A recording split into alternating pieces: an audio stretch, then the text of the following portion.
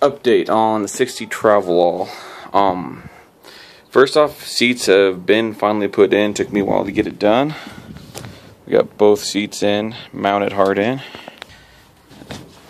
adjustable, both of them. It's pretty easy. Just took two base, two minivan seats.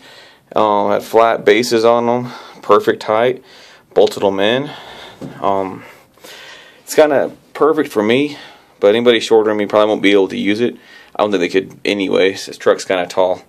I know my wife at four foot eleven is having a hard time. She can pretty much stand up inside the cab though too. Did come across one fitment issue because of the way the hump is set. I was able to get the driver's side to sit perfectly, but the hump is asymmetrical, so it goes further over to the passenger side than to the driver's side.